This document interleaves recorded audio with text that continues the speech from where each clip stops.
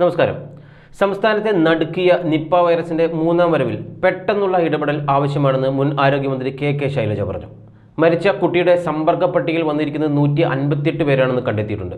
സമ്പർക്കത്തിൽ ഉണ്ടായിരുന്നവരെ കണ്ടെത്തുകയാണ് പ്രധാനം. അതിന് സാധിച്ചാൽ നിപ വ്യാപനം ഒഴിവാക്കാനാകുമെന്നും കെ കെ ശൈലജ പറഞ്ഞു. കോണ്ടാക്ട് ട്രേസ് ചെയ്യുക അതുപോലെ അസുഖം ഉണ്ടെന്ന് കാണുന്നവരെ ഐസൊലേറ്റ് ചെയ്യുക മെഡിക്കൽ കോളേജിൽ ഐസൊലേഷൻ വാർഡും റെഡിയായിരിക്കുന്നു എന്നാണ് അറിയാൻ കഴിയുന്നത്.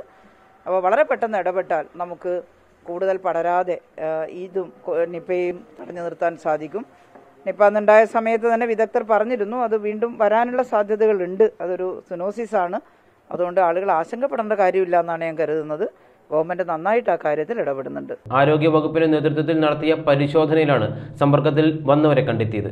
ഇതിൽ ഇരുപത് പേരാണ് കുട്ടിയുടെ പ്രാഥമിക സമ്പർക്ക പട്ടികയിലുള്ളത്. മരിച്ച കുട്ടിയുടെ റൂട്ട് മാപ്പ് തയ്യാറാക്കുകയാണ് ഇപ്പോൾ. അധികം പകർച്ചയില്ലാതെ നിപ്പയെ നമുക്ക് തടയാനാകുമെന്ന് കെ കെ ശൈലജ കണ്ണൂരിൽ മാധ്യമങ്ങളോട് പറഞ്ഞു. വീണ്ടും രോഗം വരാനുള്ള സാധ്യത വിദഗ്ധർ മുൻകൂട്ടി കണ്ടതാണ്. മുൻപ് ഉണ്ടായിരുന്ന വിദഗ്ധ സംഘം ഇപ്പോഴും കോഴിക്കോട് മെഡിക്കൽ കോളേജ് കേന്ദ്രീകരിച്ച് പ്രവർത്തിക്കുന്നുണ്ട്. കണ്ണൂരിലും ജാഗ്രതാ നിർദ്ദേശം നൽകിയിട്ടുണ്ട്. ലക്ഷണങ്ങൾ കണ്ടാൽ അറിയിക്കാൻ നിർദ്ദേശം നൽകിയിട്ടുണ്ടെന്നും കെ കെ ശൈലജ പറഞ്ഞു. അതേസമയം നിപ്പ ബാധയെ തുടർന്ന് കുട്ടി മരിച്ച സംഭവത്തിൽ കോഴിക്കോട് മെഡിക്കൽ കോളേജിന്റെ ഭാഗത്ത് വീഴ്ചയുണ്ടായോ എന്ന് പരിശോധിക്കുമെന്ന് മന്ത്രി വീണ ജോർജ് കോഴിക്കോട് വാർത്താ സമ്മേളനത്തിൽ പറഞ്ഞു. പനി ബാധിച്ചെത്തിയ കുട്ടിക്ക് കോഴിക്കോട് മെഡിക്കൽ കോളേജിൽ സ്രവ പരിശോധനയ്ക്ക് നിർദ്ദേശം നൽകിയിരുന്നില്ല. മരിച്ച കുട്ടിക്ക് ഒരു ഘട്ടത്തിലും കോവിഡ് ഉണ്ടായിരുന്നില്ലെന്നും മന്ത്രി പറഞ്ഞു. ഈ ഘട്ടത്തിൽ രോഗപ്രതിരോധമാണ് സർക്കാരിന്റെ ലക്ഷ്യമെന്നും മന്ത്രി പറഞ്ഞു. അതിനായി ശക്തമായ നടപടി തുടങ്ങിയിട്ടുണ്ട്. രോഗത്തിന്റെ ഉറവിടം കണ്ടെത്താൻ ശ്രമിക്കുകയാണ്. അതിനായി രോഗം ബാധിച്ച കുട്ടിയുടെ റൂട്ട് മാപ്പ് തയ്യാറാക്കും. കുട്ടിയെ മെഡിക്കൽ കോളേജ് ആശുപത്രിയിൽ പനിയെ തുടർന്ന് പ്രവേശിപ്പിച്ചപ്പോൾ സ്രവ പരിശോധന നടത്തിയിരുന്നില്ല. ഇത് എന്തുകൊണ്ടാണെന്ന് പരിശോധിക്കുമെന്നും മന്ത്രി പറഞ്ഞു. കോഴിക്കോട് മെഡിക്കൽ കോളേജ് ആശുപത്രിയിൽ നിപ്പ വാർഡിനൊപ്പം പ്രത്യേക ലാബും ഐ സിയുവും ഉണ്ടാകുമെന്നും ആരോഗ്യമന്ത്രി അറിയിച്ചു. സ്ഥിതി വിലയിരുത്താൻ ജില്ലാ കളക്ടറേറ്റിൽ ഉന്നതതല യോഗം തുടങ്ങിയിട്ടുണ്ട്. നിപ വൈറസ് ബാധ സ്ഥിരീകരിച്ചതിന് പിന്നാലെ രോഗം ബാധിച്ച് മരിച്ച പന്ത്രണ്ട് വയസ്സുകാരന്റെ വീടിന് സമീപത്ത് കടുത്ത നിയന്ത്രണങ്ങൾ ഏർപ്പെടുത്തിയിട്ടുണ്ട്. കോഴിക്കോട് ചാത്തമംഗലത്തിന് സമീപമുള്ള കുട്ടിയുടെ വീടിന് മൂന്ന് കിലോമീറ്റർ ചുറ്റളവിൽ ഗതാഗതം പൂർണമായി നിരോധിച്ചു. നിപ വൈറസ് സ്ഥിരീകരിച്ച ചാത്തമംഗലം വാർഡ് പൂർണമായും അടക്കുകയും എട്ട് പതിനൊന്ന് പന്ത്രണ്ട് വാർഡുകളിൽ ഭാഗികമായ നിയന്ത്രണവും ഏർപ്പെടുത്തിയിട്ടുണ്ട്. പോലീസിന്റെ നേതൃത്വത്തിൽ മുൻകരുതൽ നടപടികളും സ്ഥിരീകരിച്ചിട്ടുണ്ട്. ഇതിന്റെ ഭാഗമായി ബാരിക്കേഡ് ഉപയോഗിച്ച് റോഡുകൾ പൂർണമായും അടച്ചു. അഞ്ചു പേർക്ക് കുട്ടിയുമായി പ്രാഥമിക സമ്പർക്കം ഉള്ളതായി കണ്ടെത്തിയിട്ടുണ്ട്. നിലവിൽ പതിനേഴ് പേരാണ് നിരീക്ഷണത്തിലുള്ളത്.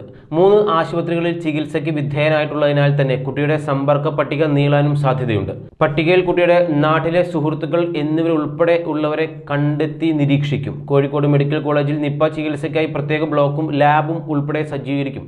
മെഡിക്കൽ കോളേജിലെ പേ വാർഡാണ് ഇതിനായി തിരഞ്ഞെടുത്തിരിക്കുന്നത്. വിദഗ്ധ ചികിത്സയ്ക്കായി ഐസൊലേഷൻ വാർഡ് ഉൾപ്പെടെ സജ്ജീകരിച്ച് കോഴിക്കോട് മെഡിക്കൽ കോളേജ് ആശുപത്രിയിലേക്ക് മാറ്റാനിരിക്കുകയാണ് സ്വകാര്യ ആശുപത്രിയിൽ ചികിത്സയിലിരുന്ന ഈ പന്ത്രണ്ടുകാരൻ ഇന്ന് പുലർച്ചെ മരിച്ചത്. അതേസമയം ശനിയാഴ്ച രാത്രി വൈകിയാണ് പൂനെ വൈറോളജി ഇൻസ്റ്റിറ്റ്യൂട്ടിൽ നിന്നും ഫലം ലഭിച്ചത്. കുട്ടിയുടെ മൂന്ന് സാമ്പിളുകളും പോസിറ്റീവാണെന്ന് കണ്ടെത്തിയെന്നും ആരോഗ്യമന്ത്രി അറിയിച്ചു.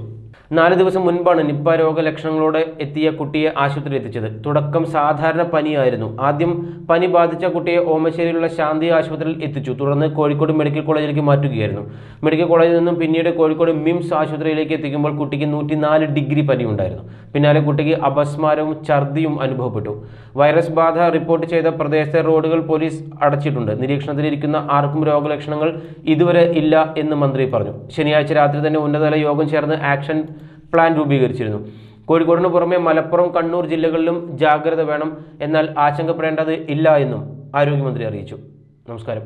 രാത്രി തന്നെ ടീമുകൾ ഫോം ചെയ്തിട്ടുണ്ട്. അതുപോലെ നമ്മൾ ട്രേസിംഗ് നടത്തുന്നുണ്ട്. പ്രാഥമികമായിട്ടുള്ള എല്ലാ കോൺടാക്റ്റുകളെയും ഐഡന്റിഫൈ ചെയ്തിട്ടുണ്ട്. ആശങ്കപ്പെടേണ്ട സാഹചര്യം ഇല്ല. പ്രൈമറി കോൺടാക്റ്റ് ഉള്ള ആളുകളെ എല്ലാം തന്നെ ഐസൊലേഷനിലേക്ക് മാറ്റുന്നതിന് വേണ്ടിയിട്ടുള്ള ക്രമീകരണങ്ങൾ ചെയ്തിട്ടുണ്ട്.